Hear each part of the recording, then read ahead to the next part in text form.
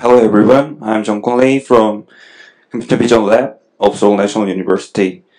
Today I will present a deeply recursive convolutional network for image HP resolution. This work has been done with Jiwon Kim, me and my advisor, Professor Kyung Ri. First, I will start my talk with introducing super resolution problem. Super resolution problem, abbreviated as SR, is the problem to reconstruct sharp and high resolution images from given spatially low resolution images. In normal situation, we can usually get large but blurry or not clear images from most image viewers. But with some super resolution techniques, we can get big and also sharp images from low resolution images. This work, this work actually starts from our another work, VDSR. After we train the VDSR, we observe that some internal layers are look similar. They have same size and the same number of filters by design, and the pattern of activation was also similar between layers. The effect reminds us of recursion. After we got ideas of recursion, we may think that it could be very effective and efficient for super resolution problem itself. In super resolution problem, the receptive field size of neural network is very important because it, it, it determines the amount of contextual information which is very important clue for missing high frequency information. As you can see in these figures, with large size of context, we may figure out what it is more clearly. Among many approaches to widen the receptive field, increasing the network depth is one possible and promising way. A convolutional layer with filter size larger than a 1 by 1 or a pooling layer that reduces the dimension of intermediate representation can be used to widen the receptive field of neural network. But both approaches have drawbacks. A convolutional layer introduces more, more parameters, and a pooling layer typically discards some pixel-wise information. So we need a better and more efficient way to neural network uh, for neural network model to secure the large receptive field to solve super resolution problem well. It is the deep recursive neural network model I'll talk about. The recursive model itself was introduced several times in literature, but they are regarded suitable for temporal or consolidators, so they have been limited use on algorithms on single static imaging. But some have tried to use recursive network to static image domains, but they have some limitations. First, they were too shallow. Before our model, the maximum number of recursion reported was just three times. And second, they keep making the spatial size of hidden layer small. That is not allowed feature in a super resolution, super resolution task because SL methods predict full-size images. And last, they showed overfitting problem. Our network is similar to the above in the sense that recursive layers are used with convolution but we further increase the recursion depth and demonstrate that very deep recursion can significantly boost the performance of super resolution problem. And we apply the same convolution up to 16 times and use zero path to hidden layer to keep the spatial size and succeeded to avoid overfitting using new methods I will talk about. From now on I'll talk about our approach. Our first model outlined in this figure consists of three subnetworks, embedding, inference, and reconstruction networks. The embedding net is used to represent the given image as feature maps ready for inference. Next, the inference net solves the task.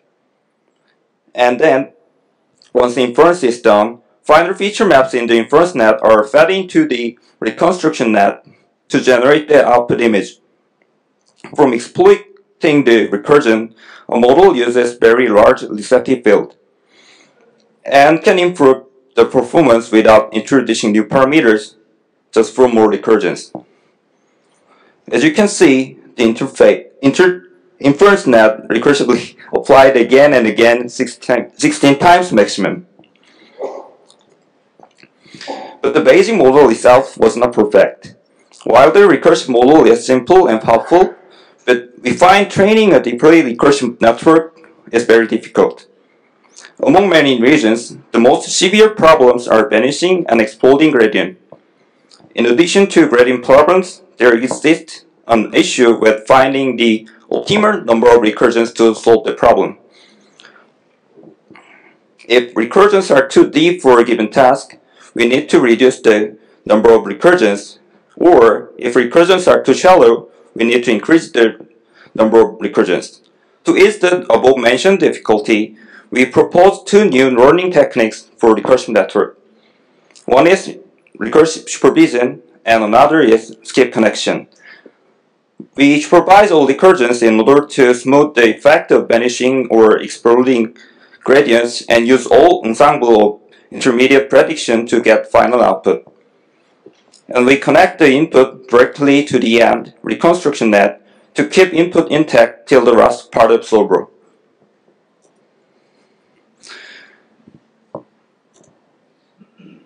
As we have assumed that the same representation space can be used again and again during convolutions in the inference net, the same reconstruction net is used to predict HR image for internal recursions.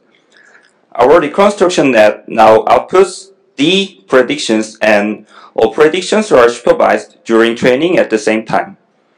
Recursive supervision handles the gradient problem because backpropagation goes through a small number of layers if supervising signal goes directly from loss layer to only recursions. And also, summing all gradients backpropagated from different prediction losses gives a smoothing effect that acts as a way of regularization. As outputs reconstructed from all depths are ensembled, cherry-picking the optimal depth is not required anymore. Because it learns the ensemble weight too, model can softly pick the optimal weight or optimal number of recursion.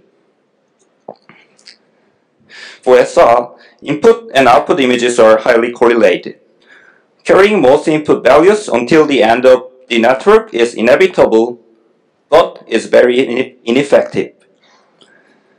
So we add a skip connection from input to the reconstruction network. Now input image is directly fed into the reconstruction net whenever it is used during recursions. Our skip connection has two advantages. First, network capacity to store the input signal during recursions is saved. Second, the exact copy of the input signal can be used during target prediction. So in summary, its intermediate prediction at recursion D is supervised. And from all the recur internal recursion results, reconstruction net output D different intermediate results. And the final output is the weighted sum of all these predictions with learned weight. This is the final loss from our techniques. The L1 is loss for our intermediate outputs and L2 is loss for the final output. So total loss is sum of L1 and L2.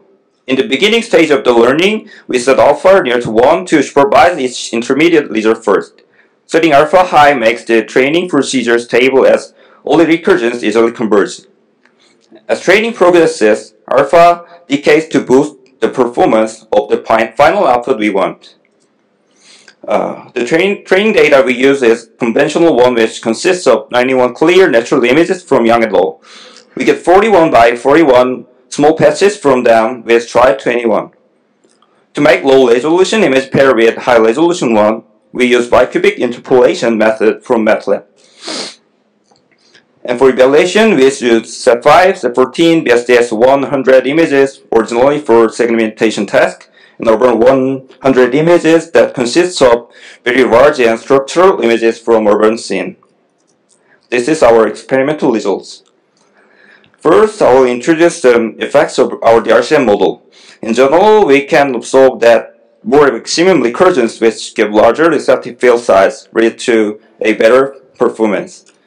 After we evaluate each recursion results independently, we found that the ensemble of our intermediate predictions give very huge improvement on performance. And we also found that for larger scale factor for super resolution, we need more recursions to solve. It falls together with our expectation that model will softly pick the optimal recursion number. This is our qualitative results. We compared ours with for different methods, A+, SRCNN, RFL, and SelfEx, which is they are existing state-of-the-art methods reported from 2014 and 15. Rest column is our result. You may see that our method restored the line more clear. And from this image, you may see the cross pattern from the glasses are well restored only by ours. And you can see the border of windows are more clear from by our models. It looks very similar to ground truth one. And our model can also handle natural images as well. DRCN can decompose the curves from the kind of saddles of horse. And parallel lines are the best one that we can see the superiority of our model. The line components of ours are most similar with ground, ground truth one. And finally, our friend BB8. Some of you might see this figure from Reddit we uploaded. And the blurry BB8 Robert can get pretty by our DRCN. Here's the entire result table. DRCN outperforms the existing method by a larger margin, except for VDSR. VDSR performs better on Set5 and oh, ah no, my mistake. Performs better on B, B, BSDS 100 or Urban 100. Let me conclude. We propose a novel SL method using deeply recursive convolutional network. Moreover, we propose two techniques to train recursive model well, recursive supervision and skip connection, and shows the superior results. We expect that this kind of method can be applied to other image restoration tasks well. Thank you for listening.